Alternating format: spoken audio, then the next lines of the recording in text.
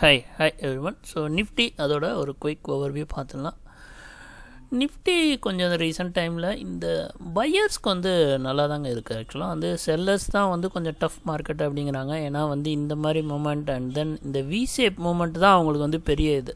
இப்போ one side move கூட கரெக்டாக அட்ஜஸ்ட் பண்ணிடுவாங்க. இந்த சடனாக ஃபால் அண்ட் தென் ரைஸ் இந்த மாதிரி மூமெண்ட் வந்து செல்லர்ஸ்க்கும் பையர்ஸ்க்கும் கொஞ்சம் பிரச்சனை தான். ஏன்னு கேட்டிங்கன்னா வந்துட்டு ஸ்டாப் லாஸ் வந்து எல்லா லெவல்லையும் ஈஸியாக வந்து ஹிட் பண்ணிவிட்டு திருப்பி வந்து அவங்க டைரெக்ஷனில் கரெக்டாக போகும். பட் நம்ம அடிக்கடி சொல்கிறதான் நீங்கள் வித் ஹெஜ்ஜிங்கோடு போயிட்டிங்கன்னா மொமெண்டம் எங்கிட்டு போனாலும் சரி நம்ம டைரெக்ஷனில் கரெக்டாக போகும்போது நம்ம அந்த ரீசனபிள் ப்ராஃபிட் எடுத்துடலாம். ஸோ அதனால தான் நான் எப்போவுமே திருப்பி திருப்பி சொல்கிறது ஆல்வேஸ் கோ வித் ஹெஜ்ஜிங் அப்படின்றது. ஸோ ஓரளவு இப்பொழுதைக்கு இப்போ இந்த மார்க்கெட்டோட வியூ பார்த்திங்கன்னா இது வரைக்கும் கிளியராக இந்த டவுன் சைட்லேயே இருந்தது.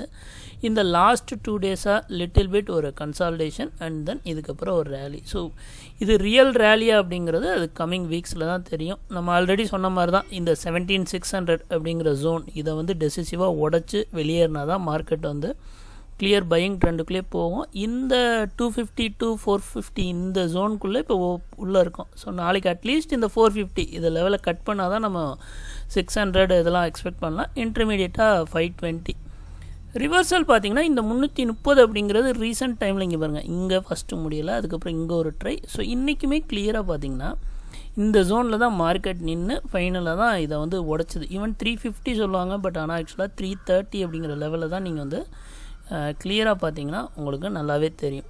ஸோ இனி த்ரீ தேர்ட்டியை உடச்சதுன்னா டவுன் சைட் எங்கே? Two fifty and then two hundred அவ்வளோதான் ஸோ இந்த மார்க்கெட்டோட கிளியர் கன்சால்டேஷன் ஜோன் பார்த்தீங்கன்னா இந்த இரநூறுலேருந்து இந்த ஐம்பது.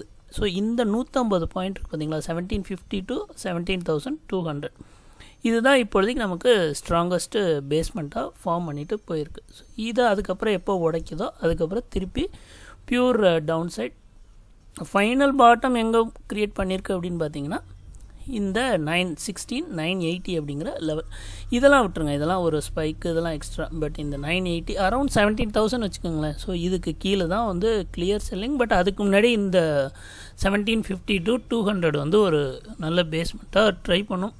பட் ஒரு கேப் டவுன் அண்ட் தென் ஒரு ஷார்ப் செல்லிங் முடிஞ்சிச்சுன்னா முடிஞ்சுது. பட் இந்த வியூ இந்த கரண்ட் வியூ வச்சு.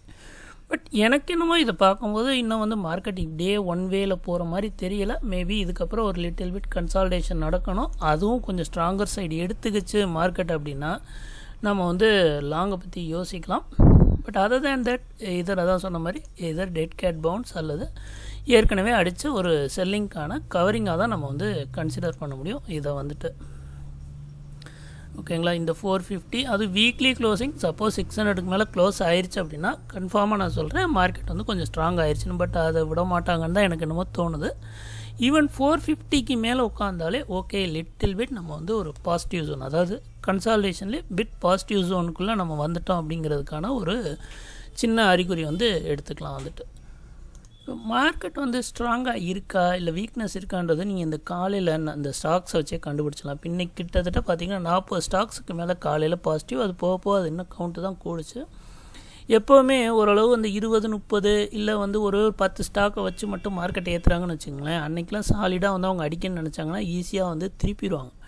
பட் நம்பர் ஆஃப் ஸ்டாக்ஸ் வந்து உங்களுக்கு பாசிட்டிவ் ஜோனில் அதிகமாக இருக்கும்போது அந்த மார்க்கெட்டை திருப்ப முடியாது. ஏன்னா ஏதோ ரெண்டு ஸ்டாக்கில் செல்லிங் நடக்கும்போது இன்னும் ரெண்டு ஸ்டாக்கை வச்சு உங்களுக்கு சப்போர்ட்டை எடுத்துக்கிடுவாங்க ஸோ அது வந்து உங்களுக்கு வந்து நடக்காது. ஸோ அதுதான் இன்றைக்கும் நடந்தது.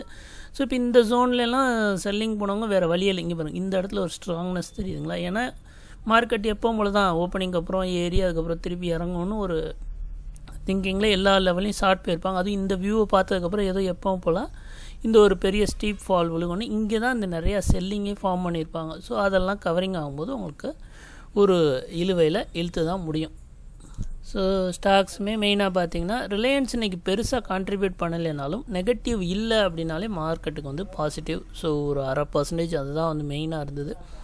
இந்த இந்த ஜோனில் மார்க்கெட்டுக்குள்ளே இருந்தவங்களுக்கு தெரியும் வந்துட்டு. ஆக்சுவலாக மார்க்கெட்டோட ஃபால் நடக்கிறப்பையும் சரி ரிவர்சல் ஆனப்பையும் சரி எல்லாத்துக்குமே வந்து ரிலையன்ஸ் வந்து ஒரு மெயின் பார்ட்டாக எடுத்துக்கிட்டாங்க. மீதி எல்லாம் சப்போர்ட்டுக்கு தான் வச்சுக்கிட்டாங்க.